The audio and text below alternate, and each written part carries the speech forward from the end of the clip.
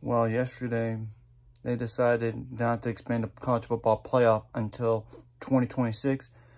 That's just ridiculous to me. That expansion should happen sooner than rather than later. The ACC was not in favor of the expansion, the 12 teams or expansion period, I believe, as well as the Pac-12 and the Big Ten. The Pac-12, I don't get.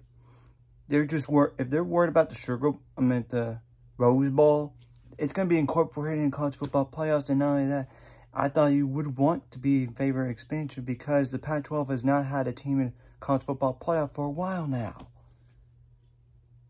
I mean, come on. It's going to hurt the group of five teams, obviously. But luckily, Cincinnati won't be a group of five team starting in 2023, potentially.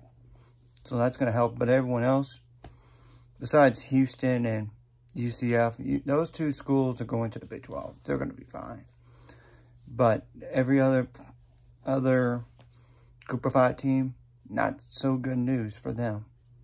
And now, the thing is, if it doesn't get expanded when they talk in 2024, just to, after the 2026, if it doesn't get expanded, it's going to be 14 player for the foreseeable future, which would be horrible. And now it requires teams to go 13 and 0, including winning the conference championship or a one-loss team.